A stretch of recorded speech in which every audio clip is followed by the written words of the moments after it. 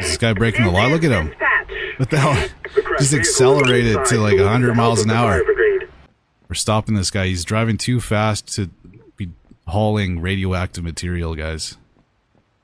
What do you want? Good afternoon. Good afternoon. Oh. Why did you stop me? I've stopped you for a check. Crazy eyes, guys. I would like to see your driving license and vehicle registration.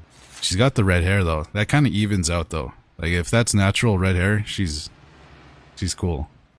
Let's Have see. you taken any drugs or other intoxicants? Of course not. What do you think? I think she's about to kill me. She's gonna follow me home and kill me, guys. Alright, she definitely has the crazy eyes. Um but that's about it. Maybe nervous head movements, but that's not enough.